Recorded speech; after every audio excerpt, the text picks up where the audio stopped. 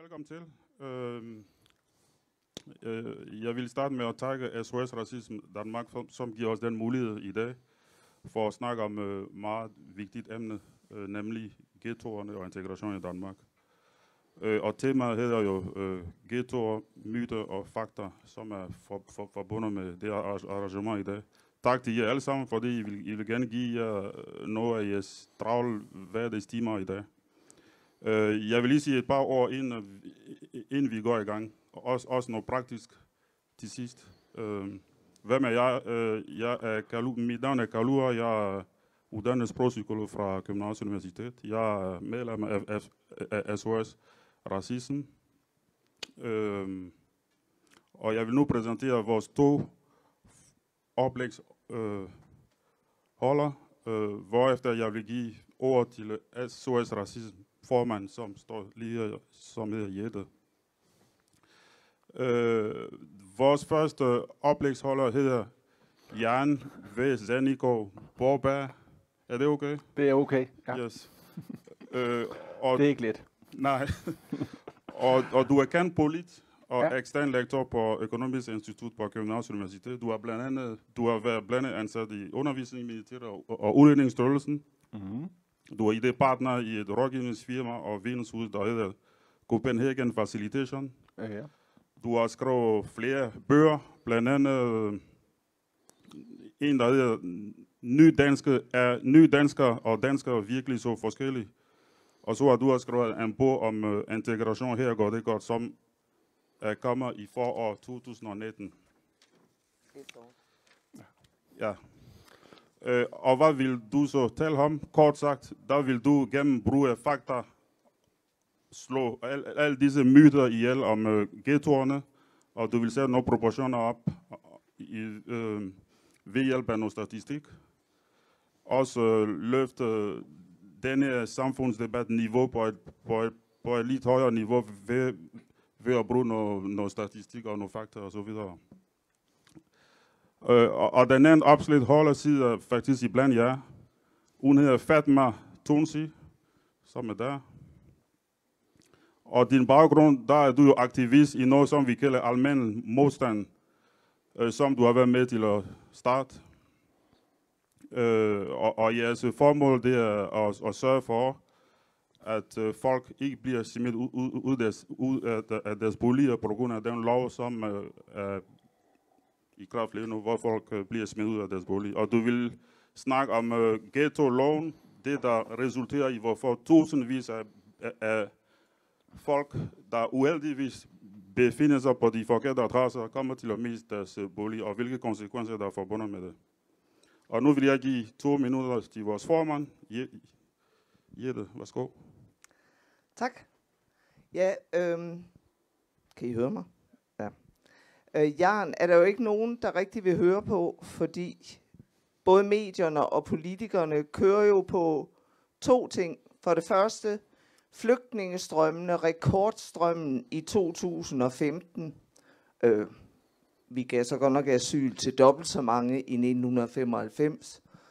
Og den anden øh, myte, det er den fejlslagende integration.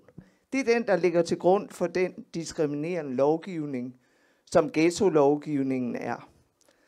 Øh, Jørn har jo skrevet sin fremragende bog, som man også kan købe.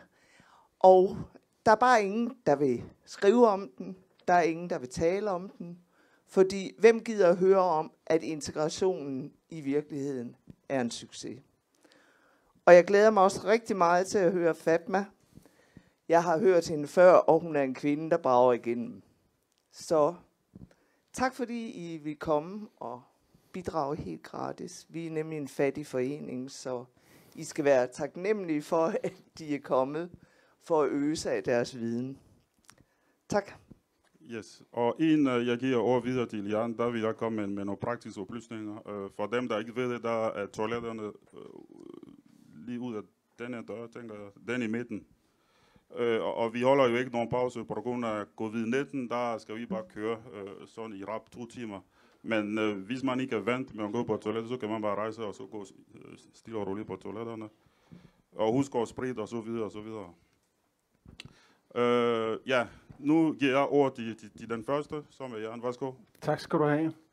Godt. Øh, jeg bad om at få den her, for jeg egner mig ikke til at stå stille nogen steder, og det kan alle mine studerende på universitetet også fortælle om.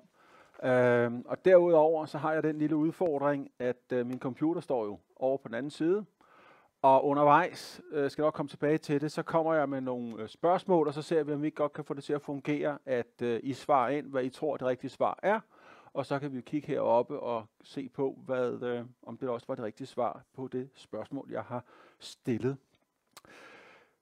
Jeg er en taltung herre, vil jeg skynde mig at sige. Øhm, og det jeg egentlig starter med, det er bare lige at proklamere, at jeg kommer med en hulens masse figurer. I bliver simpelthen kørt igennem.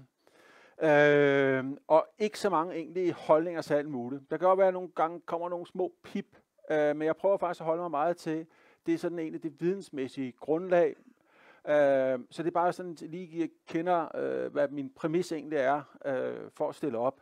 Øh, det er egentlig at tale om de mange og ikke de få, fordi min opfattelse af hele debatten er oftest, at den altid handler om de få og aldrig om de mange. Og der, hvor den burde handle om de få, der skulle den så også handle om nogle flere. Men det kan jeg komme tilbage til, når jeg prøver at vise jer nogle af de tal, øh, jeg analyserer på. Så det, jeg har tænkt mig at gøre, det er lige at komme med noget indledning. Helt selvfølgelig lige kort om mig selv og alle de der ting og sager. Uh, vi skal også lige på det her Socrative Student, så vi kan stille nogle spørgsmål undervejs. Og så kommer jeg sådan lige helt generelt set med en indledning om, nogle af de nedslagspunkter, der er mange desværre, må jeg sige, men nogle af de nedslagspunkter, som jeg ser øh, i debatten, øh, hvor det går galt, altså hvor der er udfordringer med øh, den måde, man kigger på tal på. Og igen, jeg er jo lidt af en talnørd, så jeg skal prøve at holde mig til, at øh, I skal have lov at spørge, men jeg vil foreslå, at vi gør det sådan, at jeg først kører oplægget igennem. Har I noget forståelsesmæssigt, så synes jeg, det er ok at spørge undervejs.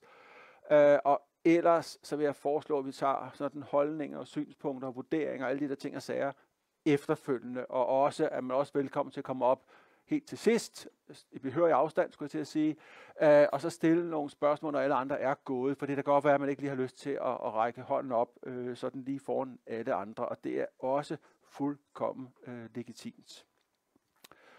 Kort om mig, øh, som jeg blev så flot også introduceret, men det er bare, så man har en idé om, at jeg øh, i hele mit virke igennem øh, rigtig mange år, hvad enten jeg igennem de syv år, jeg var ansat i centraladministrationen, øh, senere hen internationale organisationer, øh, altså arbejdet rigtig meget med statistik. Også en masse andre ting, men i særdeleshed rigtig meget statistik. Og en af de ting, der slog mig, øh, var jo også, da jeg var i centraladministrationen, det var en fantastisk tid, der er ikke så meget der, men en af de ting, der altid slog mig, det var, at når vi lavede analyser, så oftest det, der kom videre, det var altid en eller anden negativ vinkel, eller noget på de få, og noget med, der var problemer, og meget sjældent om alle de ting, hvor det faktisk går godt. Og det ligger selvfølgelig også lidt i, i og nogle gange har jeg jo været ude og kritisere pressen, og jeg synes måske, Jette var lidt hård ved, ved pressen, for jeg har faktisk været øh, rimelig meget pressen indimellem øh, i perioder. Øh, fordi jeg netop kritiserer den, og det kommer også til i min næste bog, der kommer her i november og december måned, som handler om, når medierne sætter dagsordenen. Øh, fordi jeg mener sådan set, at de er med til at skabe det, jeg kalder den etiske misforståelse. Altså man tordner konstant ud med alle mulige historier, og det kommer jeg også lige lidt tilbage øh, til omkring. Men det var ligesom det, der gjorde, at jeg øh, undrer mig lidt over det her, øh, da jeg arbejdede i ministerierne, at øh, hvordan hulen kan det egentlig være, at der er så mange øh, gode nyheder, og så bliver det sjovt nok altid til den, den triste, der fik lov at, at, at løbe videre øh, med bolden. Det jeg gør, øh, det er sådan set også, at jeg bruger de ting. Nu står der nogle få heroppe. Der er rigtig mange ministerier, der leverer informationer til mig, og jeg har aldrig problemer. Øh, Finansministeriet leverer gerne, øh, Økonomi- og Indrigsministeriet leverer gerne, Undervisningsministeriet, alle steder får jeg hjælp fra, Sundhedsstyrelsen, alle mulige steder. Øh, så i almindelighed så oplever jeg egentlig bare, at øh, der er også en masse andre, der synes, det er super spændende, at jeg kigger øh, dem i kortene, og vi har rigtig mange gode snakke også ude øh, med folkene ude i, øh, i Danmarks Statistik for eksempel. Her er der bare nogle få, der er nævnt. Men det er også bare for at sige, at jeg selvfølgelig nogle gange trækker tal selv, det gør jeg, og via Danmarks Statistik, men meget ofte så er det bare et spørgsmål om, at jeg læser øh, nogle flere sider i de der rapporter, der kommer, og så kan man faktisk finde rigtig mange ting øh, sådan bagved, øh, hvis man kan sige det på den måde. Så nu kan I lige prøve at hoppe ind øh, der, og der I skal ind, det er den, der hedder 636 991, hvis I har mod på at være med til nogle af de afstemninger, jeg kommer til. Det kommer sådan en, en, en, en lidt hurtig række på et tidspunkt, fordi så skal jeg kunne være dernede relativt kortvarigt, uden for kameraet, og så øh, kan vi være der. Men hvis I går ind og henter appen, så hedder den Socrative Student. Sjovt nok, min version af det, det er Teacher. Øh, så hopper I derind, og det, der er det gode ved den, øh, og den bruger jeg altid i mine forelæsninger for at være i kontakt med 300-400 studerende, det er, at øh, men uanset hvilken enhed man er på, med sin mobiltelefon, om man er på tablet eller computer, hvad man er, så kan man altid komme på. Uh, vi har aldrig oplevet nogen uh, problemer der, det må jeg sige, uh, når det er. Så det I gør, det er, at I logger ind, og der skriver I så det her nummer 636 991. Det har jeg også skrevet her med kuglepen. Hvis nogen af jer pludselig ryger ud, så kan I komme tilbage igen uh, der. Og det kan I stille Ole starte op med nu, og så fortsætter jeg uh, herfra øh, fordi jeg skylder nogen øh, noget her. Øh, jeg bruger jo øh, uansagelige grunde øh, regeringsrapporter med videre, øh, fordi det er så dejligt bitte for mig. Øh, det er gratis informationer, og nogle gange så vil ministeren ikke selv bruge alle de her gode historier, og så kan jeg jo få lov at løbe afsted med nogle af de gode historier, og det passer mig udmærket, sådan temperamentmæssigt. Men det er klart, så kommer der også en terminologi ind, en terminologi, som jeg ikke nødvendigvis altid synes er lige øh, retfærdig, Omvendt så er jeg også statistiker og ved, at al statistik er ligesom et landkort. Man fjerner nogle nuancer, fordi hvis man har et landkort øh, over verden, så kan vi jo godt regne ud, så kan man jo ikke se, hvor for eksempel et eller andet lille landsby ligger henne, men vi kan se, hvor landene er henne, vi kan navigere. Og det er jo det der dilemma, der altid er med statistik, det er en forsimpling af verden, og derfor så skylder jeg selvfølgelig alle de mange mennesker, der kommer øh, alle mulige steder fra, eller deres forældre er kommet derfra, eller deres bedsteforældre er kommet derfra, lige at sige, at ikke I skal kunne læse, hvad der står her, men det er bare for min måde at markere på, at der er en kæmpe mangfoldighed af mennesker, der kommer fra hele verden, øh, og de bliver altså repræsenteret i en kategori, øh, som vi statistisk set kalder ikke-vestlige personer, og det ved jeg også, der er nogen, der har nogle mange holdninger til. Øh, jeg har lidt mere sat selv en pragmatisk holdning til det, men det er ikke fordi, jeg sådan set billiger det i sig selv, øh, vil jeg lige skynde mig at sige. Øh, men det er nu engang det, man kan, hvis man skal prøve at lave nogle sammenlignelige ting. Øhm, og det er på derfor, jeg så bruger det, fordi det er så det, der findes øh, der, hvor jeg går ind i statistikbanker og andre steder. Det er der, hvor jeg sådan set finder øh, de her ting. Jeg skylder også nogle andre noget andet, og det er blandt andet, at øh, man bruger forskellige typer begreber i statistikkens verden. Vi har et begreb, som handler om indvandrere. Det er sådan et relativt kendt begreb, og kender også masser af folk, der er indvandret ud til Danmark, som ikke har noget problem i at blive kaldt indvandrere, fordi det er det jo. Derimod har vi også et begreb i verden, øh, som øh, statistikverden, som handler om det, vi kalder efterkommere. Det er altså børn, som er født i Danmark, og efter min optik danskere som alle andre, men som vi rubricerer på baggrund af, at deres forældre er indvandret til Danmark. Så det er i min verden et statistisk begreb. Det er ikke et begreb, jeg under nogen omstændigheder synes er acceptabelt at bruge over for øh, mennesker, når man står sådan bare øh, og, og taler med dem, som de to personer, der er. Og der må jeg indrømme, at der har jeg jo indimellem hørt øh, fra mine egne venner og bekendte, at øh, når de er kommet ned forskellige steder, så bliver de bedt om at kategorisere sig selv som værende dansk eller som efterkommer og som de fleste af dem siger, indtil da har de faktisk betragtet sig selv som danskere, men de kunne så forstå, at det skulle de så ikke alligevel. Og det synes jeg selvfølgelig er drønhammerne uheldigt og absolut ikke okay. Og ser vi også på det, så kan vi se, at den statistiske gruppe, den har været voksne. Det er den grønne linje, der kører øh, heroppe. Øh, den har været voksne. Og det har nogle særlige pointer inde i statistikken, øh, som jeg også synes, man skal være opmærksom på. Øh, for det ene ting er, at der er kommet flere indvandrere. Det øh, er, som det er.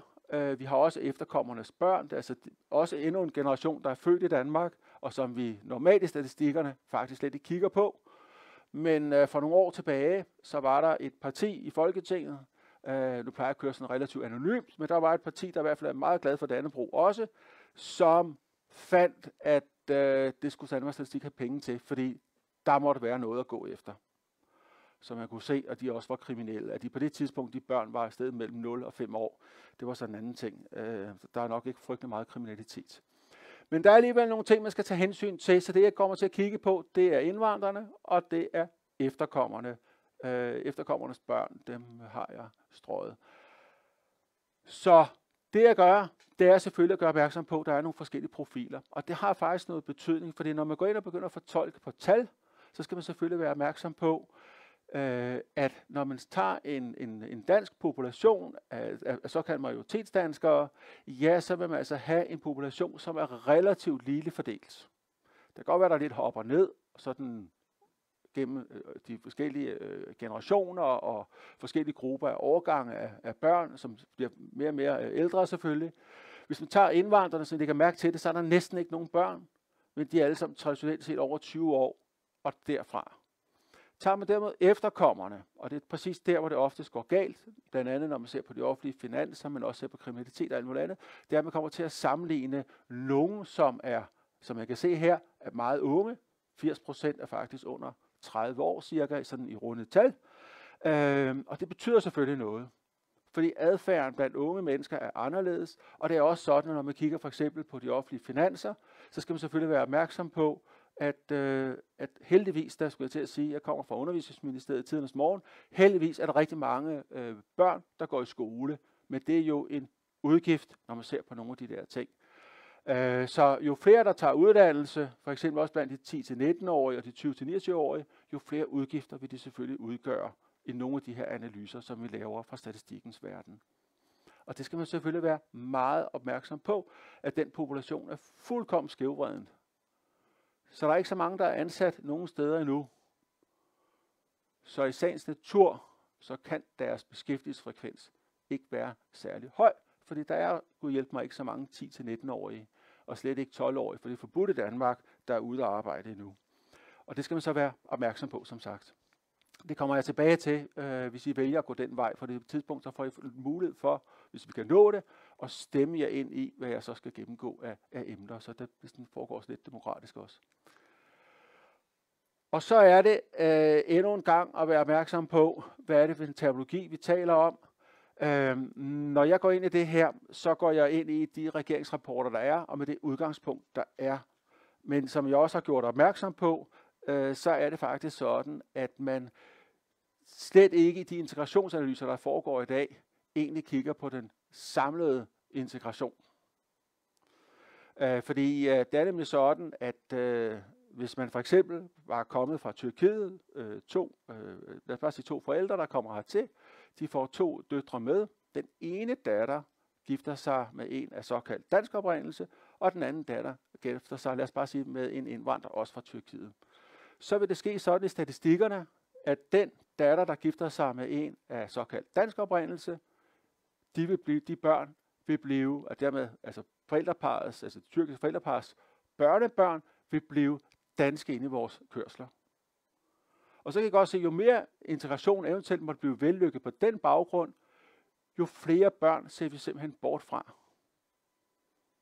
Og det har været et af mine kritikpunkter, fordi jeg synes, det er underligt, at når man har en integration mellem to mennesker, der flytter sammen, så er det sådan, at den ene part bliver simpelthen rullet ud øh, af statistikkerne, fordi man kigger vi slet ikke på de børn. Og det er det, der svarer til de der cirka 107.000, som jeg kunne regne mig frem til, børn, som faktisk er et, et lykkeligt produkt af en eller anden form for integration, må man jo sige, når to parter fra hver deres land, de gifter sig eller bare flytter sammen, for det er også nogle af de mønstre, der også er i dag, at man bor sammen på mange måder, men de får i hvert fald børn, men dem ser vi slet ikke på. Vi forfølger her alene de cirka, i den her statistik her, 155.000, som er børn svarende til den anden datter, de havde, som giftede sig med en indvandrer. Og så bliver børnene netop stadigvæk kørt rundt inde i den her analyse. Så det er også bare for at pege på, at vi ser simpelthen skævt ind i integrationen. For vi ser bort fra hver gang, der er nogen, der kommer i nærheden af en af majoritet dansk etnisk øh, herkomst, så ser man simpelthen bort fra den i de uddannelseskørsler, man laver, i de beskæftigelseskørsler, man laver, i den kriminalitetskørsler, man laver hele vejen rundt. Vi ser alene på dem, som forbliver, øh, så at sige, gift eller i samliv med øh, hinanden øh, af samme etniske oprindelse. Og så er der fortællingen i pressen, den kender I godt. Øh, jeg kender den desværre også alt for godt. Og som sagt, øh, næste bog, jeg er med til, den handler om, når medierne sætter dagsordenen, og der introducerer sig begrebet etisk misforståelse, fordi jeg statistisk set kan redegøre for nogle af de sammenhænge, der er mellem jo mere negativ pressen kører, jo mere bange er folk for indvandring i Danmark. Og det kan du simpelthen nærmest fordele ud på, på, på kommuner. Og det er jo selvfølgelig fordi, hvis man ikke kender nogen som jeg, jeg kender masser af mennesker, der kommer alle mulige steder fra, så er det klart, så læser man jo i pressen disse negative historier, som de er super gode til, og det ligger også i pressens øh, DNA, tror jeg, altid tage den negative historie. Kriminalitetsstof er spændende og alle de der ting. Men det er jo klart, at hvis man umiddelbart ikke kender nogen, og det eneste, man læser sig om, det er bare, at de lever i fattigdom, og de pjekker fra skolen, og de er kriminelle, og de dropper og gider ikke at spise morgenmad, og udgifterne til indvandrerne er eksploderet, og de gider ikke det frivillige arbejde, alle de her ting og sager, så går det jo galt. Og øh, hvis vi lige skal kigge på det, jeg kan pege på rigtig mange, men jeg har tre ting, jeg har taget med her i dag, som jeg kommer til at kigge lidt på.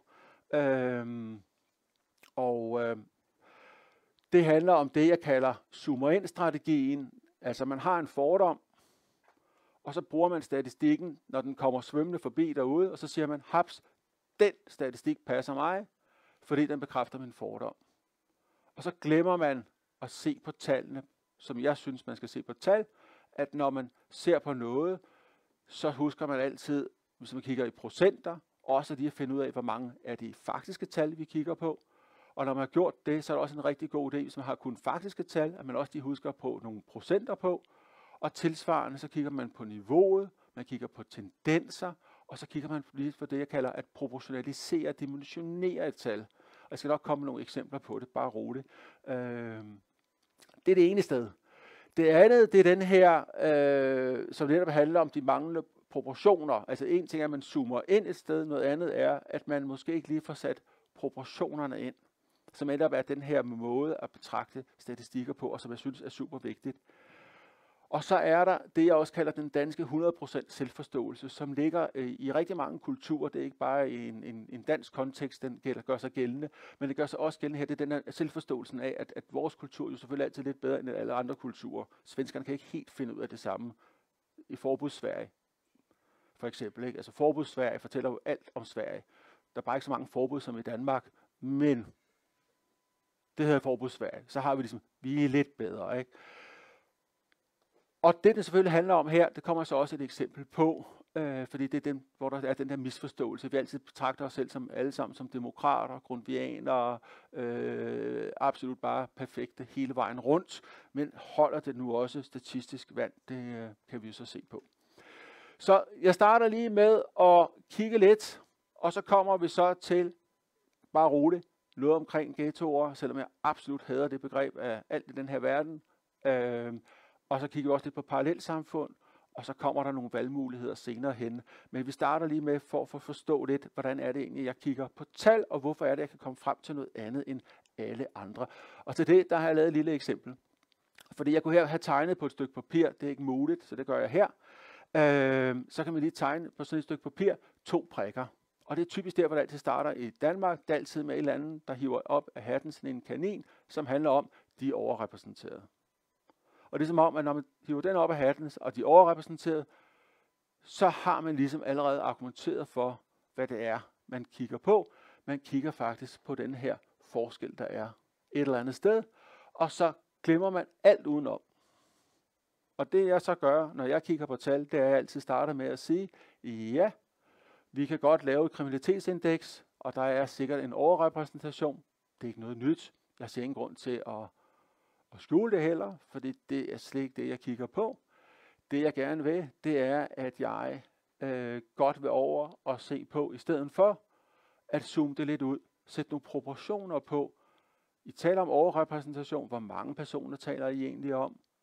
Øhm, og hvor mange har så ikke gjort det her, eller det modsatte gjort det, hvis I taler om dem, der ikke har gjort det. Så jeg kan godt lide at vende det hele rundt, og her kan man så sige, hvis man så zoomer ud, så pludselig det tal, der før så ganske, øh, øh, oh, så hopper lige forkert her, der så ret betydningsfuldt ud, pludselig så begynder det at se lidt anderledes ud, og så kan man så tillægge alle dem for eksempel, der er ikke kriminelle og ikke har lavet noget kriminalitet i givet år, og pludselig så er vi op og kigge på 97% og 99%, og vup det, så er det jo et andet fokus, og er der så egentlig den store forskel. Og det har jeg så for eksempel gjort øh, i den første bog, jeg havde, det er altså den om, om er danskere og nydanskere egentlig så forskellige. Det er netop ud fra den her devisen om, at vi zoomer altid ned i et hjørne, sidder og kigger på nogle meget små grupper, nogle meget små tal. Vi kommer tilbage til det, fordi forleden dag var der en minister, der var ude med noget med, at man skulle være bange for indvandrerdrenge i S-toget, og så kunne jeg ikke dybe mig for at gå ind og kigge lidt på statistikkerne også der, så det har jeg taget lidt med af også. Så det kommer vi tilbage til. Men nu skal vi starte et sted, og øh, nu kommer det første spørgsmål, så er jeg nødt til lige at hoppe herned nemlig, og så tager jeg lige den her med. Så kommer det første spørgsmål til jer nu her om et øjeblik. Nu kommer jeg lige til at hoppe over her. Up, den skal her, den er med. Jeg kan bare ikke se en Der kommer den der. Der kommer det første spørgsmål til jer her. Skal vi se, om vi kan få det til at fungere. For en stor en andel af ikke-vestlige personer over 14 år har ikke været i fængsel inden for en 10-års periode. Er det 79 procent, 89 eller er det 98 procent? Jeg har ikke briller på, så jeg står sådan lige og skal træne øjnene lidt.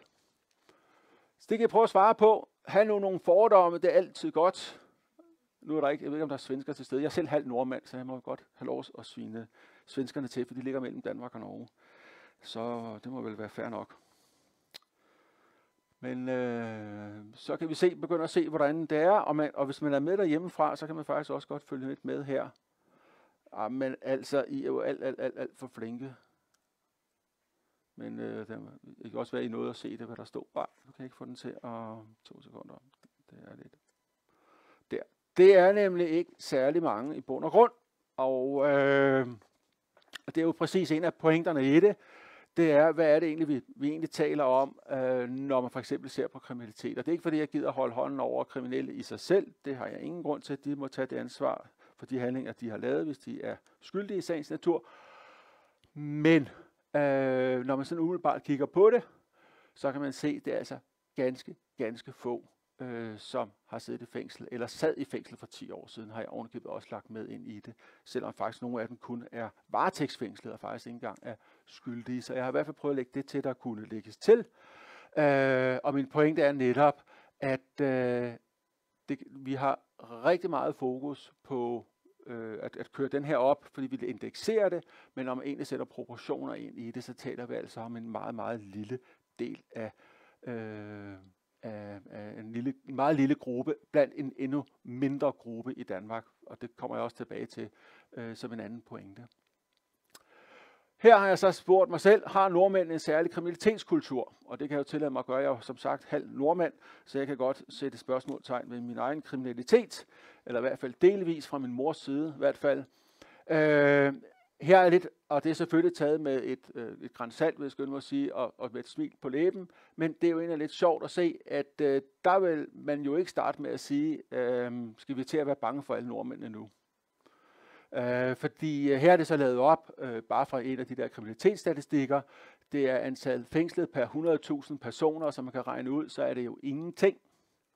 Det er bare indekseret, og så fandt jeg faktisk ud af, at nordmændene faktisk var næsten dobbelt op på så kriminelle som islændinge. Og så skulle man jo egentlig passe på de her nordmænd. Og hvis man synes, man skal det, fair nok. Men langt de fleste vil nok sige, hvorfor skulle jeg dog det? Øhm, og så må man bare sige, som jeg plejer at sige, jamen hvorfor er det så hulen, at vi gør det samme, når vi så taler om alle de mennesker, der er kommet til fra såkaldt ikke-vestlige lande? For det er præcis det, der sker.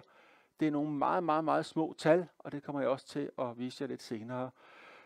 Så det er bare for at tage den her med de der manglende proportioner ind i, øh, i debatten. Så er der nogle af dem, der også har nogle andre kaniner, de hænger, øh, så at sige, hiver op af hatten. Og det er den der med, ikke bare det overrepræsenterede, men så er der også engang været en statistik, der viste noget med, at der var, øh, hvad det hedder, 42 procent øh, af ikke-vestlige indvandrermænd fra en årgang, havde lavet et eller andet i forhold til straffeloven.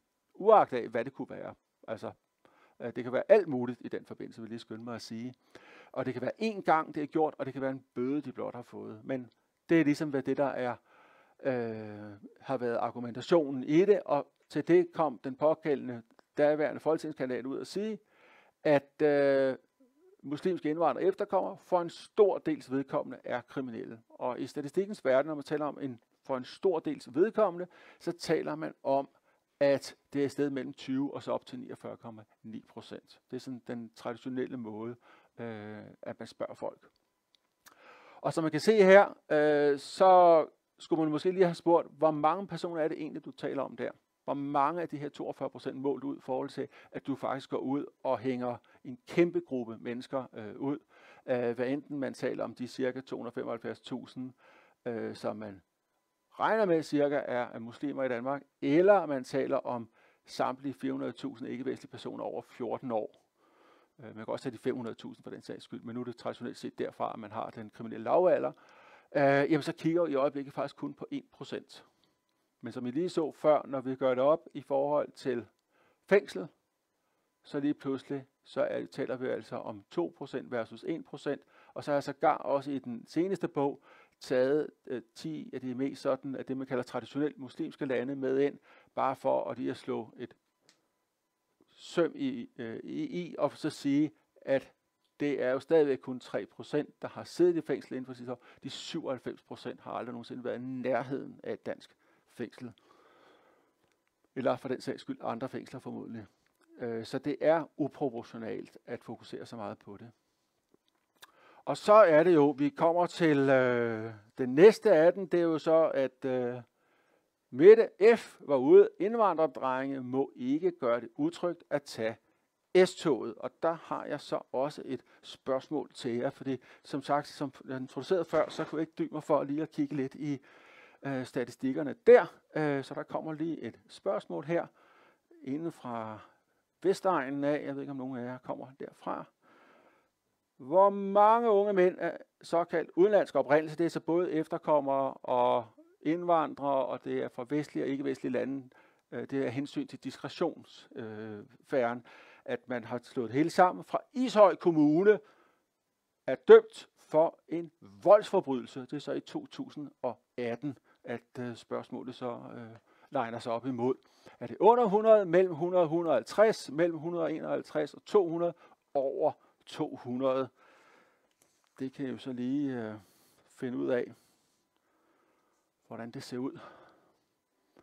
Nå, skal jeg lige herned igen og lige... Nej, men, det, men, øh, men, øh, men øh, I, I har forhåbentlig på mobiltelefonen. Kan I se, se det? Så der har I svarmulighederne. Og så kommer den her, hvad I har gætter på. Og nu kan vi så lige se, om I har skudt nogenlunde rigtigt. Det kunne man måske godt tro. Åh, nu skal jeg igen det der. Den, den sætter sig fast hver gang. Øh, den har været... Øh, skal lige her. Der. Så kan vi se her. Så tager vi Ishøj.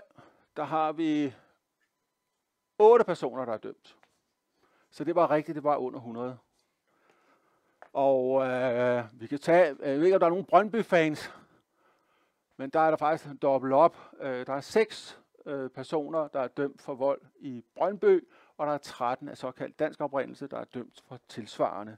Og så skal man selvfølgelig sætte det i forhold til de 9.000 unge mænd, som er af såkaldt udenlandsk oprindelse, og så svarer det faktisk til de der 0,9 procent, der er dømt, og det er rigtigt, de er overrepræsenteret, jeg ved det godt, men jeg synes også bare lige, at man skal kende de små tal, der er øh, i forhold til det. Så samlet set taler vi om altså om 82 unge mænd, der i 2018 blev dømt for en voldsforbrydelse. Ikke bare i S-togslinjen, vil jeg skynde mig at sige. Det er hele vejen rundt, inklusiv manddrab og meget andet. Det er alle typer af voldsforbrydelser, der er med her. Så det er også bare for at sige, at ja, igen eksempel med, de er overrepræsenteret, ja, men husk nu lige på, vi taler altså om 9.000 unge mennesker, og det er altså de 82 af dem, der er potentiale, og der er formodentlig også nogle af dem, der har lavet det igen i 19. Der er ikke den store udskiftning, og det er præcis også det, man kan se, når man tager det med fængselsstraffene, at der er desværre jo nok en tendens til, at man holdes lidt fast i et sådan mønster, i hvert fald for nogle få af dems vedkommende. Nu er vi ved at være tæt på øh, ghettoerne, bare så I ved det, det er jeg sikkert glæde jer til. Men vi tager lige en til, fordi jeg har den der med den selv, danske 100% selvforståelse. Øh, så nu kommer der endnu et spørgsmål til det danske demokratiske sindelag. Hvor mange personer af dansk oprindelse ønsker, at en diktator, militærjunta, en stærk mand, MK, styrer Danmark frem for vores demokratiske styreform? Så det spørgsmål kommer også lige nu her, fordi det har også nogle gange en relevans i debatten. Det kan vi lige prøve at se her. Kommer spørgsmålet her. Er det alle 100% mellem 95 og 99%, som så går ind for, det skal lige lægge mærke til her, for demokratiet som styreform, mellem 90 og 95% eller under 90%. Og den er sat til, at man kan ikke se det rigtige svar endnu, så kan vi kigge på det om et øjeblik. Der kører så en konkurrence, kan jeg se. Om det er den ene eller den anden eller den tredje. Men det er da i hvert fald også en vigtig ting at lige at have sig for øje, fordi når vi kigger på det, så er det sådan, at der faktisk er 7% af danskerne, der faktisk godt kan lide den der lidt den stærke mand, eller et eller andet den slags. Og vi skal jo ikke andet lidt over på den anden side af en meget stor andedam, der ligger mellem Europa og USA, øh, for at man har et eksempel på øh, en type af en såkaldt øh, stærk mand. Så når man alene ser nogle af de her typer analyser, så har man tendens til, at der kommer et eller andet ud omkring ikke-vestlige, og så harcelerer alt og alle over det. Og jeg siger heller ikke, at det er hensigtsmæssigt, at folk ikke ønsker demokratiet. Det er slet ikke det, min pointe er. Min pointe er bare, at man lige skal huske på, at hvis man laver analysen ordentligt, så husker man også lige at huske at få korrigeret for, at der faktisk også er en del af dansk oprindelse, der faktisk har nogle af de samme synspunkter. Så man ikke bare tror, at folk, der kommer udefra, have den her slags synspunkter, men det er faktisk noget, der også gælder en lang række af de mennesker, der har været i Danmark måske i hundredvis af år. Og så er der lige et billede ude fra øh, Møllerparken, hvor jeg simpelthen synes, det var så morsomt, at man kan sige, jeg har simpelthen aldrig kendt med. Og det eneste, der er, det er bare nogle mennesker, der står og benytter sig af deres helt demokratiske rettighed til at ytre sig og til at forsamles. Øh, og det må jo sige at være meget demokratisk, og derfor synes jeg, det er så, så morsomt, at man kan harcelere over, at folk står og demonstrerer. Øh, hvor jeg har sådan lidt, øh, i alle andre rapporter, der kommer fra regeringen, også fra da jeg selv var i integrationsministeriet, øh, der betragter vi faktisk det, at man har deltaget i en demonstration, som værende, at man har i særlig grad har udvist et medborgerskab. Øh, men det gælder åbenbart ikke lige der. Så derfor har jeg lige taget det billede med. Og nu til ghettoerne. Og der har jeg erhvervet mig det her billede her, øh, som er en, en tegner, der har lavet. Jeg synes simpelthen, det var fantastisk. Øh, øh, der står heroppe, for hvis I ikke helt kan læse det alle sammen, der står, hvorfor river du Christiansborg ned? Jeg har fået besked på at smadre ghettoer, der huser parallelsamfund, som er på overførselsindkomst, lever efter deres egne regler, taler et uforståeligt dansk, og som modarbejder det omkringliggende samfund. Jeg synes simpelthen, den er fantastisk. Så den måtte jeg bare købe, og så den fik jeg lov at købe af den pågældende supertegner der, som hedder, kalder sig Bob, øh, blev der i 2018. Hvis man lige ser det fra den sådan lidt øh, seriøse del af det, så plejer jeg faktisk at undgå at bruge ordet, fordi jeg må blankt erkende, at øh, tager man det sådan i et historisk øh, lys og sådan ud fra traditionelt set, hvordan man øh, kategoriserer sådan nogle ting, øh, så øh, det vi har i Danmark, det kan overhovedet ikke betragtes som ghetto. Og selv jeg, der så har studeret i Frankrig, øh, og har været områder, der var tæt på det, man kalder ghettoområder i, i Frankrig, kan jo ikke insist at være i nærheden af det. Øh, og det kan jo virke helt paradoxalt, øh, når man kigger rundt øh, i Danmark, at man kan betegne det på den måde. Fordi traditionelt set, øh, så, skal, øh, så skal andre opfatte mindretallet som værende farlige. Gruppen er begrænset øh, fra at bosætte sig andre steder, det er ikke tilfældet. Området er klart afgrænset. Det kan det være med typisk med noget park eller med noget sådan andre hyggelige ting. Øh, og så er der, øh, øh, traditionelt set skal der også være opbygget parallelle institutioner for beboerne.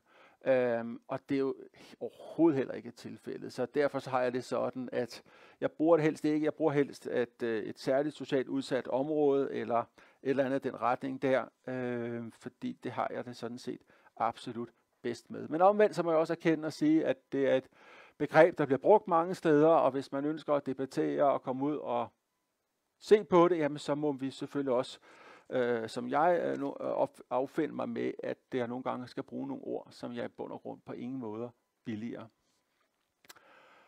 Så jeg kan strække mig til at kalde det et såkaldt ghettoområde, men allerhelst vil jeg helst bruge bare ordet øh, udsat boligområde. Og der er nogle øh, definitioner øh, på det, øh, som øh, handler om, at det skal være uden tilknytning, beskæftigelse og uddannelse. Der er taget nogle, nogle, nogle små tal med på det. Øh, det er øh, kun grundskoleuddannelse, men vil gerne, øh, hvis der er noget der.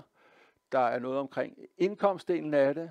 Der er noget omkring øh, kriminalitetsdelen af det, øh, som skal være højere. Den har så ændret sig undervejs, men det skal sådan blandt andet også være højere end, øh, end den generelle tendens, der er i samfundet. Den har tidligere været statisk, det skal jeg prøve også lige at sige lidt tal på. Øh, så er der andelen af øh, ikke-vestlige personer, som er jo det, der gør, at man så bliver kategoriseret som en egentlig øh, ghetto. Og så er der to kriterier, som man nogle gange også glemmer lidt i øh, den offentlige debat, men som set også er der normalt, så vil man kigge på de øh, første fem. Øh, men det, der også kendetegner ved det, det er, at det skal være et almindeligt boligområde, og der skal være over 1000 personer i det her område. Og det betyder selvfølgelig også nogle gange, at kommuner både kan have fordel i at prøve at slå boligområder sammen, for så kan de komme over, eller de kan prøve at få den fra hinanden, så de kan komme under. Der kan være vidt forskelligt, hvilken strategi øh, de forskellige kommuner øh, de har i den forbindelse.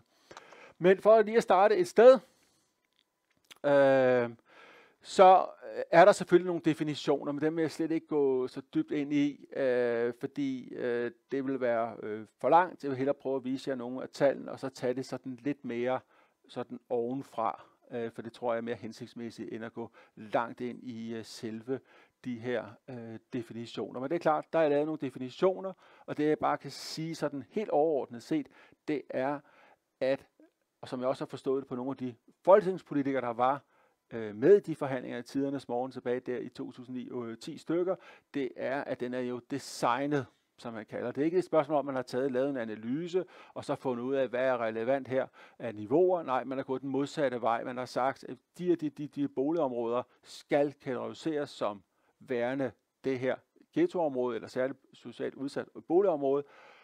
Hvordan får vi den med? Og så begynder man så at designe tallene, så man for de boligområder med, som passede øh, de fleste folketingspolitikere, som det nu øh, var inde i disse forhandlinger.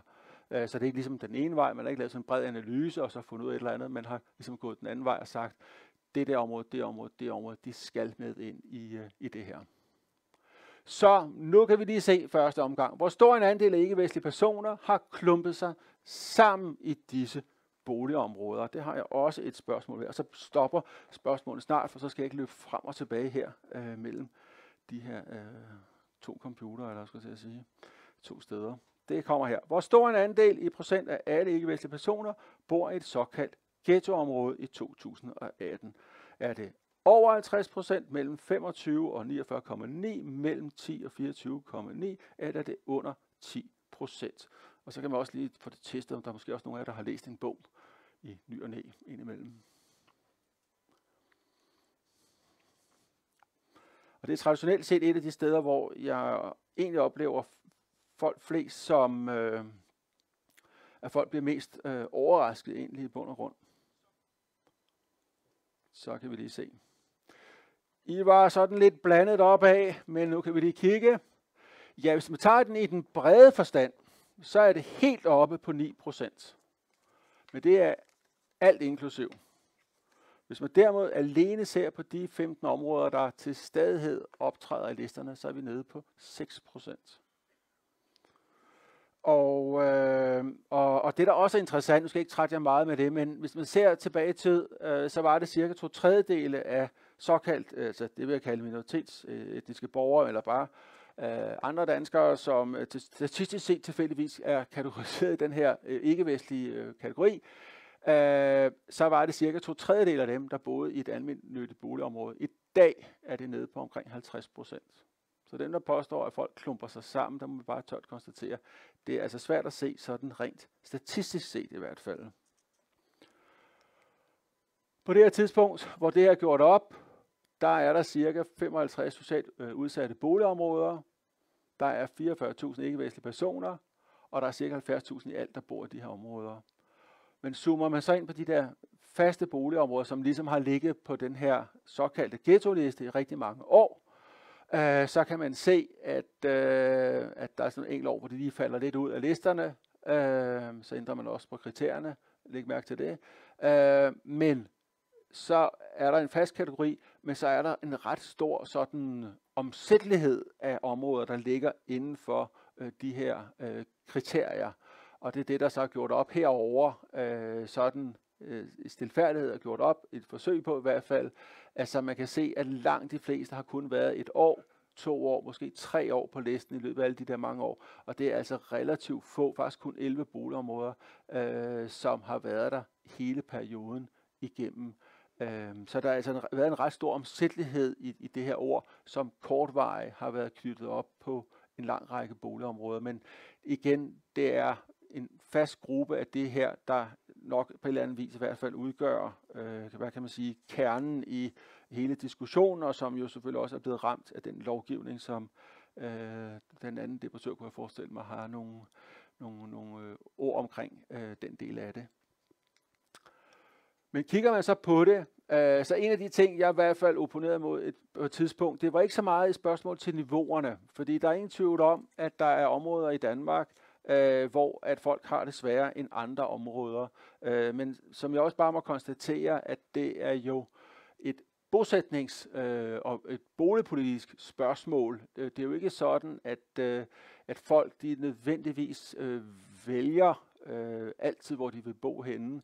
Øh, det kan jo også være, at man bliver anvist til en bolig, og hvis en kommune for eksempel i mange år, også tilbage i tid, har anvist beboere øh, eller borgere ud i et bestemt område, jamen så, som jeg præcis konstaterer, så kan man jo ikke være så overrasket over, at dem, der typisk bliver anvist, det er typisk de mere sårbare grupper, og hvis de bliver anvist ud i et område, så kan man jo ikke bagefter stå og sige, se nu er de alle sammen flyttet derud, hvis det er kommunen, der startede med sådan set at flytte dem derud.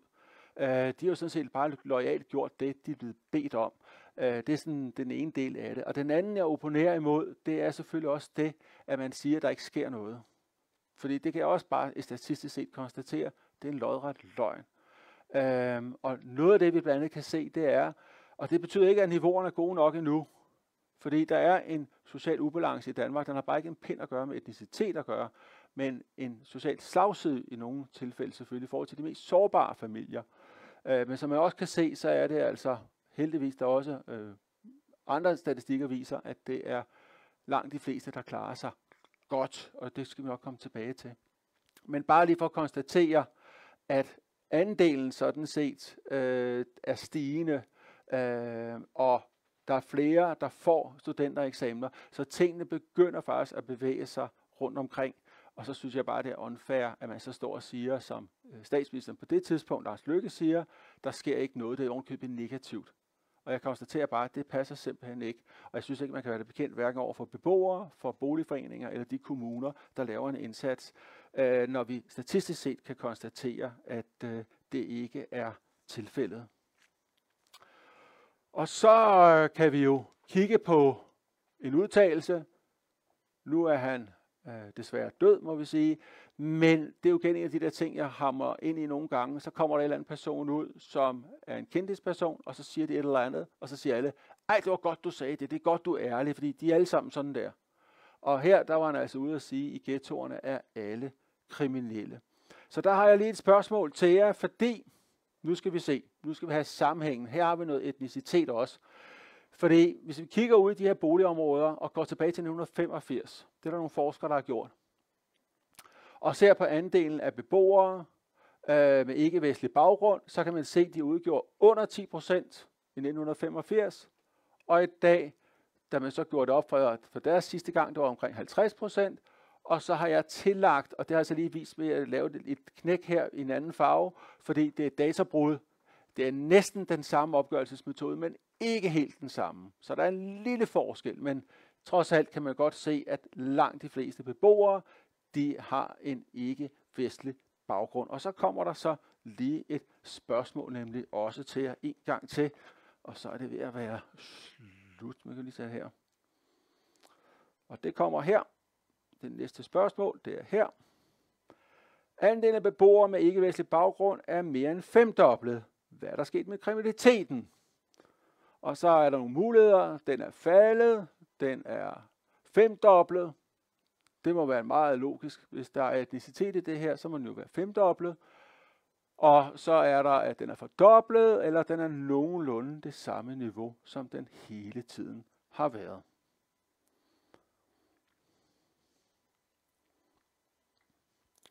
Og så kan vi lige se, hvordan det ser ud. Og det er sådan, der, der kører i faldet, nogenlunde fordoblet, og så er der rigtig mange, der er den på den nogenlunde det samme niveau. Og øh, det er sådan set også det rigtige svar, for jeg vil nok altid være en lille smule påpasselig med at sige, selvom man godt kan se, at der er sådan en lille fald der, så er det ikke helt det samme boligområde. Det er for 90% det samme, men ikke helt det samme, for det, der er nogle af dem, der er udgået øh, herfra, af den, der er med i den her gruppe, som ikke er med her. Og derfor så er det ikke helt det samme tal.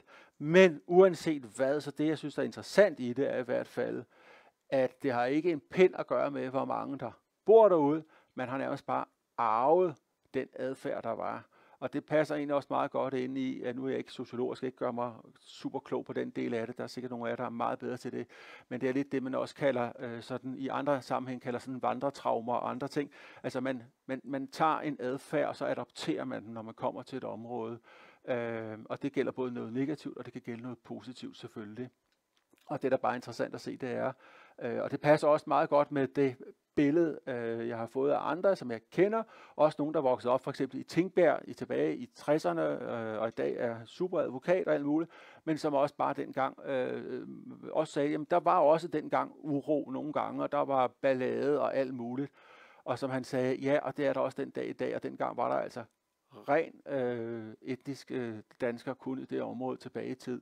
Øh, og der var også nogle gange uro, nogle gange ballade og alt det der. Så han synes, betragter bare, at det er det samme, der sker i dag, som der også skete for ja, 50-60 år siden.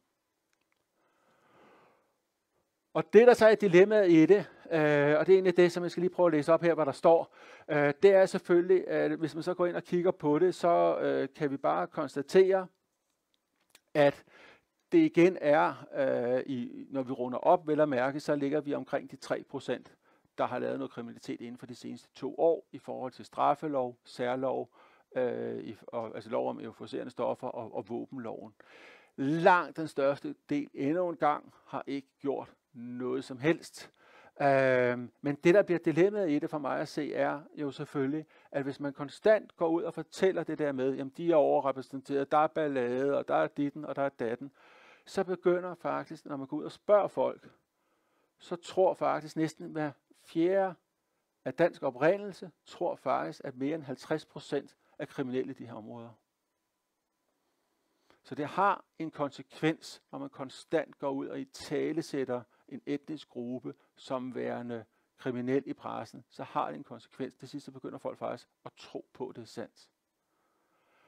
Og 60 procent det er altså inklusive det her godt nok stadigvæk, tror, at mindst 20 procent af dem er kriminelle. Og det rigtige tal, det er altså 3 procent. Så det betyder noget, den måde, man i tale sætter andre etniske grupper på øh, fra en, øh, en flertalsbefolknings side. Og kigger vi på det her øh, i forhold til, øh, ja, det er overordentligt sødt af dig. Der står, jeg har to timer tilbage. Nå, det var ikke det. Nå. Øh, så kan man se her, øh, tilbage i tid, så var det helt klart kriminaliteten. Og det er derfor, jeg også blev sådan lidt ærgerlig over, at man så går ud fra en statsministers side og postulerer, at der ikke er sket noget. Når vi få år efter kan konstatere, at det er de færreste af områderne, der har en kriminalitetsret, der ligger over det kriterie, der var sat. Det synes jeg er ærgerligt, fordi jeg synes, det er ærgerligt, at man ikke anerkender, at der faktisk er nogen, der har lavet en stor indsats, øh, hvad enten det er beboere, det er boligforeninger, eller det er kommuner øh, og andre gode kræfter selvfølgelig også øh, i den forbindelse. Så meget om den del af det, men en del af det at være i, på sådan en liste, det er altså også den næste kobling, der kommer her, øh, og det er parallelsamfund, som man så også har lavet som begreb. Øh, og ligesom med ghettoerne, så er det koblet op på etnicitet, Øh, og det er jo sig selv også øh, problematisk. Men nu kan vi prøve at kigge lidt på nogle af definitionerne og se, hvad der er, der sker undervejs. Og, øh, og der var ude alle steder. Øh, og nogle steder, der stod der så øh, gav også fakta. 28.000 familier er, øh, øh, er lever i, i parallelsamfundet. Jeg synes, det er meget morsomt. Jeg synes, det var en fakta, øh, når, når fakta normalt er noget, man faktisk kan konstatere, ikke noget, som øh, man har vurderet øh, på et noget løst grundlag. Og nu skal jeg prøve at forklare, hvad jeg egentlig mener med det. Men vi kan jo starte et sted og spørge om, hvor stor en andel af de 28.000 familier, som er nævnt i redegørelsen, udgøres af bare én voksen med eller uden øh, eller, med eller uden et eller eventuelt to børn. Det kan vi prøve at spørge jer om, så kan vi jo se, hvad I tænker om, om den del af det. Og nu er I ligger ligesom som mine studerende, I begynder at tænke strategisk, og tænker, ah, når han spørger om det, så må det være lavt, eller højt, eller et eller andet. Men det er også okay. Så nu kommer der så. Hvor stor en andel? Er det over 50 procent? Er det mellem 25 og 49 procent? Er det mellem 10 og 25 procent? Er det under 10 procent? Så alene er en hel familie, som udgøres af en person. Eventuelt en person, og så vedkommendes børn. Og igen har jeg lavet den så, at, øh, at nu kan man faktisk se farven. Den har jeg så ikke lige fået slettet, kan jeg se. For ellers har jeg prøvet at lave den neutrale, men den har jeg ikke lige fået den fanget. Så nu kan man i hvert fald svare på det rigtige, at det er over 50 procent. Fordi når de fleste hører familier, så tænker man jo unægteligt øh, på en, en familie med far og mor og børn og alle mulige ting og sager. Men i Danmarks Statistik, og den måde, man statistisk set laver sådan nogle opgørelser her, inklusive mig selv, det er, at familiebegrebet har en noget anden tilgang til det, fordi det handler sådan set bare om, at der er en voksen til stede i lokalet, skulle jeg det sige. Åh, oh, nu glemte jeg lige at få den fikset rundt her. Ej, sådan er det, når jeg kan få lov at stå det samme sted. Så har vi den der. Der kan I se det. Der er det opdelt. Og det er venligt udlånt af tal af Indrigs- og Økonomiministeriet, som har leveret tal også til den del af det. Øh, og som man kan se, at de familier, der er altså én voksen med her, øh, det er faktisk en tredjedel. Så er der en voksen med øh, et, et barn eller to. Traditionelt set, det er cirka 20 procent. Og så er der egentlig det, man nok de fleste vil betragte som familier, det er så cirka 44 procent. Så det er altså en pæn andel af dem, der faktisk øh, udgøres af bare en enkelt voksen. Men, øh, og det kommer jeg tilbage til om et øjeblik, for det har nogle problemstillinger inde i den måde, man har lavet de her kriterier, som jeg absolut heller ikke lige synes er så frygtelig smart. Men lad os lige starte et andet sted. Fordi øh, herover det er en Hisboteria demonstration. Herover der har vi Jehovas vidner. Begge anbefaler, folk ikke skal deltage i et folketingsvalg, for eksempel. Og jeg ved godt, at øh, der er ikke så mange sms-kæder fra Jehovas vidner. Der er flere, i hvert fald fra, jeg har fra øh, gode kilder og troværdige kilder. Så ved jeg, at der nogle gange kører de der sms-kæder om, lad være med at stemme og alle sådan nogle ting og sager. Men man må bare sige, det har det jo ikke helt lykkes med. Men det, der bare er ved det, er, at herover det vil man betragte som et parallelt samfund, den definition, der er skabt. Herover der ser man bort fra det. Og, og så, som jeg nævner i min ene bog der, jeg synes jo også, det er lidt paradoxalt, fordi nu er jeg jo kæreste med en læge, som er børnelæge over på ride, og de procedurer, der ligger, hver gang der kommer et barn ind øh, fra hovedets vidner, fordi de må ikke modtage blod, de må ikke have blodtransfusion, og så skal man faktisk fratage forældrene øh, myndigheden, og en masse procedurer der, for at operere børnene, for så at levere dem tilbage igen til forældrene. Og det kan man så sige, jeg tror ikke mange ikke-kristne havde overlevet den øh, i alle mulige andre sammenhænge, hvis jeg skal postulere noget her. Øh, fordi øh, at have en holdning om, at et, det er vigtigt, at ens barn dør, end at få en blodtransfusion, det vil i andre sammenhæng nærmest være betragtet som, at man ikke var egnet som forældre. Men det lever vi med, og det har man levet med som myndigheder. Der ligger simpelthen vejledninger også ude på nettet, så man kan se om, hvordan man præcis griber de der situationer an. Jeg tror næppe, ikke Hesboteria, men generelt set nogle andre religiøse minoriteter havde overlevet den. Og hernede, der har vi noget fra LCF, og herover der har vi Hells Angels. Og nu ved jeg jo godt, øh, når man ser i statistikkerne, så kan man godt tro, at der herover kun er såkaldt etnisk danske. Det er ikke tilfældet. Og herover kan man også tro, at det kun er øh, såkaldt øh, unge indvandrermænd.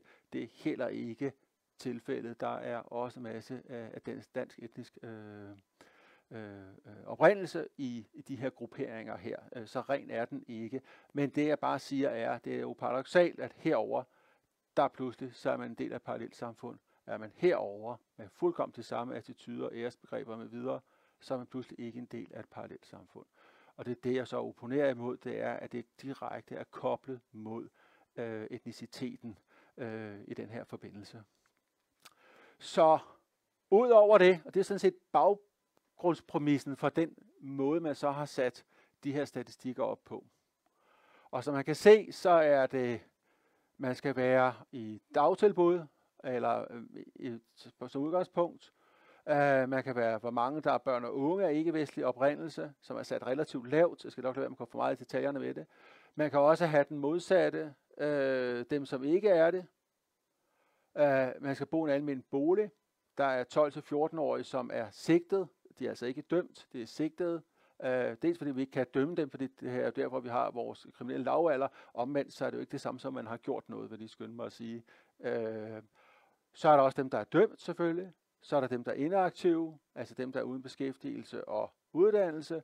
Og så er der dem, der er på langvarig øh, passiv forsørgelse. Så er man en del af det. Men det kræver, at man er af ikke-vestlig oprindelse i det. Og så har jeg en, øh, en, øh, en af mine venner, der hedder Jan. Hun er øh, pære oceaner, så at sige, men har så nogle år boet i Voldsmose, nu bor hun i København. Øh, jeg har lige fået lov at, at låne hende, bare for lige at demonstrere lidt. Øh, hun er øh, det, man kan kalde en enlig mor med to børn. Og hvad betyder det så lige øh, i det her tilfælde her, hvis man så bor en, ude i Voldsmose, man har et arbejde, man stormer ind til, men man sætter barnet i den lokale børnehave. Hvad betyder det så lige, når man bare er en mor øh, i de her kriterier? Jo, fordi som vi kan huske, så var der en meget stor andel, der faktisk var i de her kriterier her. Øh, men det betyder jo faktisk, at hvis man så bor ude i Voldsmose, så har man allerede det første kriterie, for det skal kun opfyldes to kriterier for at være en del af det her. Så alene det gør jo, at hvis man bor i et almindeligt boligområde, er ikke-vestlig oprindelse, ja, vup det, så er man allerede med i det første kriterie, hvis man er den her lille familie. Og det næste er jo så, som jeg synes er fuldkommen paradoxalt, det er det det, hvis man så sætter det i den lokale børnehave, som alle os, der har børn, og nu er det lidt ældre børn, men der havde små børn, der prøvede altid at få den institution, der var tættest på i sagens natur. Øh, uh, man har ikke lyst til at ligge og køre rundt i hele København. Jeg har prøvet både at køre ud til Amager og Indre By, selvom vi faktisk på det tidspunkt boede på, på Østerbro. Uh, jeg skulle hilse at sige, at jeg vil frygtelig gerne ind i, i daginstitutionen, der lå i Rysgade, fordi det var lidt tættere på. Men det, der er lidt paradoxalt her, det er, at hvis man lader være med at sende sit barn i børnehave, så betragtes det også som at være en del af et parallelt samfund. Og hvis man sender det ned i den lokale børnehave, så man kunne hjælpe mig også en del af et parallelt samfund. Så lige meget hvad man gør, hvis man er enlig mor og har et job, og faktisk ikke har brug for at køre hele byen rundt, ja, så bliver man en del af et parallelt samfund. Hvad kan man så gøre? Intet. Man er simpelthen koblet op på det. Og øh, det kan man så regne på her til sidst. Nu er jeg holder øje med tiden. Det er godt. Og så kan man sige, hvis man bare putter et ekstra kriterium ind i det her, så pludselig så forsvinder det tal for 28.000, og så er vi nede og tale om 5.800. Det er ikke en dyt at gøre med parallelsamfund, vil jeg stadig sige. Altså, kriterierne har ikke en dyt med det at gøre, men det er bare for at vise, hvor sårbar de her er, for at man bare ændrer en lille smule i det, så er vup det, så er tallet væk, og har man koblet endnu et på, jamen så er det forsvundet. Men der er stadig ikke noget med parallelsamfund at gøre, som jeg lige har demonstreret, fordi det er opdelt på en etnicitet og ikke på øh, det, der ellers burde være. Nu, hvor meget tid har jeg tilbage? 5 minutter. Det er nemlig godt, for så kan man lige få lov at vælge, hvad vej jeg skal gå de sidste 5 minutter. Nej, der er, jeg har 20 minutter tilbage, står der jo. Ej, det ved jeg godt, det var et kvarter før. Ej, nej. Jeg driller. Nu skal vi se. Tager vi lige her. Så kan I få lov at vælge nemlig. Så tager vi den lige her. Åh, oh, nej, det var den der. Den hopper lige fra. Og så her. Jeg vil gerne høre mere om de 33 milliarder og de offentlige finanser. Er det rigtigt, at det går godt på uddannelsesområdet? Øh, forklædetillægget og beskæftigelsen? Eller hvor mange føler sig som danskere med eller uden bindestreg, som handler om identitet. Så kan I vælge det emne, I gerne vil have, Og så tager jeg lige det her emne helt til sidst. Så burde det passe, og der er en masse, der har nogle holdninger der. Det er rigtig fint. Så kan vi afsløre, hvad det bliver. Så tager vi den med identiteten så i den her forbindelse her. Det er fint. Så skal jeg lige hoppe lidt. Nå, nu glemte jeg det igen, igen, igen. Det er typisk mig. Så tager vi det der. Så skal jeg lige hoppe her. Hopper vi lige her. Jeg, ellers, jeg kunne have talt i timer, men det vil jeg lade være med. Denne her, den slog mig en dag, da jeg sad og kiggede sådan lidt generelt i aviser. Øh, fordi jeg, øh, så lige pludselig slog det mig, at føler du dig som dansker? Hvad femte nydansker gør? Der lå sådan lidt underforstået, ikke? De utaknemmelige mennesker, der kommer hertil, de gider ikke engang at føle sig som danskere. Men hvad er det nu lige, man skal være opmærksom på, når man går ind og kigger på den slags? Altså udover det løgn og latin, øh, så er der faktisk også det i det, at man skal huske på, hvem er det lige, man spørger. Og langt den største gruppe af dem, man spørger, det er folk, der er indvandret til Danmark. Det er 70 procent af den population, man har været ude at spørge. Og nogle af dem har bare været her i tre år. Og nu ved jeg ikke, om I har været afsted, men jeg var i to år i Frankrig. Jeg følte mig ikke som franskmand, øh, skal jeg blankt erkende. Øh, heller ikke øh, øh sikkert, hvis jeg havde været der i fem eller seks år. Øh, fordi jeg var jo dernede i en periode, og det kunne være, at jeg skulle have været der længere tid. Det kunne, nu blev det så to år, jeg var der. Øh, men alene det, at man overhovedet ikke fra, sådan, som journalist spørger sig selv, kunne jeg spørge kritisk ind til det her. Men det, jeg opponerer imod nogle gange, det er, at de altid bare tager præmissen. Og så kører de løs. I stedet for at være kritisk over for det, der er lavet analyse, og så sige, jamen, hvor mange har I spurgt? Øh, nå, det var indvandrere, I spurgte, jamen, så er det måske ikke lidt under, at de føler sig som indvandrere. For det kalder vi dem sådan set også. Statistisk set i hvert fald. Øh, og det er altså som sagt den langt den største del af den der population. Det næste er selvfølgelig også, at det er løgn. Det er jo simpelthen en fejlfortolkning af de tal, der er. Øh, nu har jeg ingen holdninger til, hvad folk må føle sig som, for det har jeg, det har jeg videre et meget åbent sind overfor, øh, hvad man gerne vil identificere sig selv med. Øh, det skal jeg ikke have noget øh, at skulle have sagt der. Det må folk have lov til at føle sig som det, de gerne vil. Men at stå og postulere, øh, Øh, det er jo decideret løgn. Øh, og så kan man se her, at går man tilbage i tid, så er det faktisk øh, 50 procent, der føler sig med eller uden indvandrerbaggrund, føler sig som dansker. Øh, gjort op på en lidt anden måde. Det er derfor, der er sådan en lille stjernemarkering hernede. Der er et databrud, der også derfor, der er lidt længere afstand. Men uanset hvordan man vender og drejer det om, så kan man da ikke andet end at sige, at der er flere og flere, der faktisk føler sig som en del af det danske samfund. De seneste tal, der er kommet, og som igen er spurgt på en lidt anden måde, øh, de viser altså, at det tal er langt over 90 procent i dag. Så uanset hvordan man vender og drejer det her om, også når der er nogle gange, og det er jo et af de steder, hvor jeg også rammer ind i noget nogle gange, at der kommer forskere ud, øh, som har lavet et eller andet feltstudie et eller andet sted, interviewet 15 mennesker, og pludselig gør det repræsentativt og siger, nu ved jeg, hvad alle 500.000 indvandrere i Danmark mener om et eller andet. Det gør de jo ikke. Øh, fordi de kommer også nogle gange igennem med sådan nogle budskaber om, at øh, de vender Danmark ryggen og alle mulige ting. Og så siger man, ja okay, du har interviewet 15 mennesker, min ven. Hvordan kan du sige den slags? Øh, hvis man skal gøre det her, så skal man gøre det ordentligt.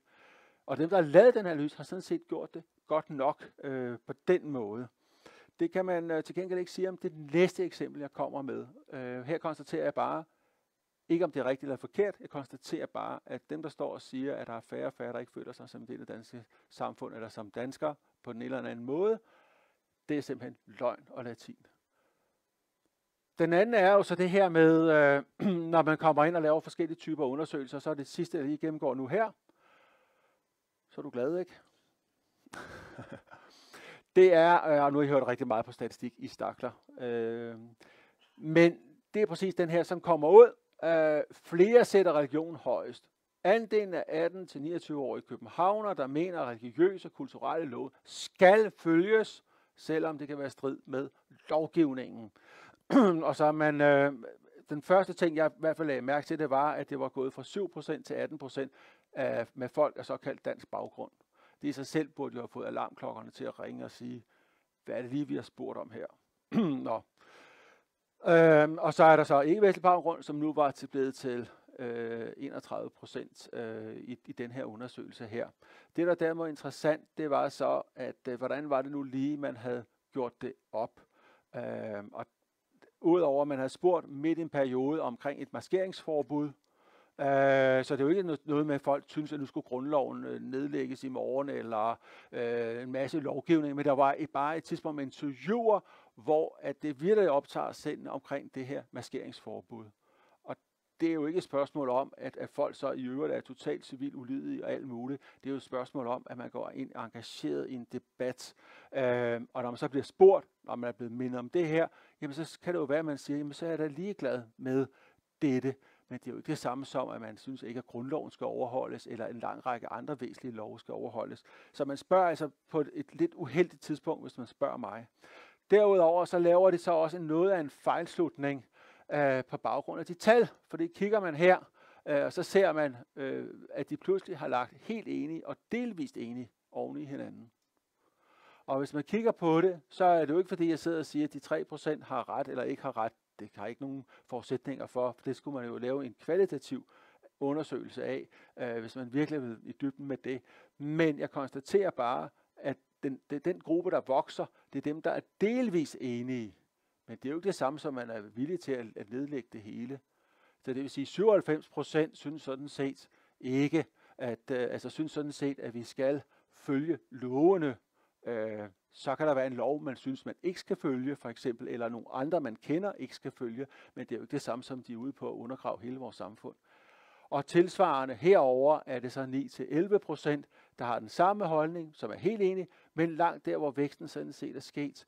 Og den stigning, der er her, den er ikke signifikant, altså forstået på den måde, at den kan være tilfældighed. Fordi når man er ude og lave sådan nogle undersøgelser her, så er det det, man kalder, man prøver så godt at lave noget, der er repræsentativt for alle unge københavnere, øh, men der er altid en statistisk usikkerhed. Og, og så måler man på en måde, og så skal man altså være meget forsigtig med ikke at overfortolke fra 9 til 11 procent, for det er det, vi i statistisk sprog vil betragte som værende ikke signifikant. Og der kan man så se her, at, øh, at langt det største del af det, det handler om delvis enige, men det kunne man jo ikke se på den måde, som aviserne fremstillede det på, hvor de ovenikøbet skriver, skal følges. Total overfortolkning. Godt, så meget om øh, den her del af det. Så er jeg færdig for min del. Tak for ordet. Og jeg har sikkert også fået det varmt undervejs. Mange, mange, mange, mange tak. Jeg har aldrig været til, til, til foredrag med så veldokumenterede oplysninger, som du kommer med. Uh, ja, man kunne jo ønske at mindst tre timer sammen med dig. Ja.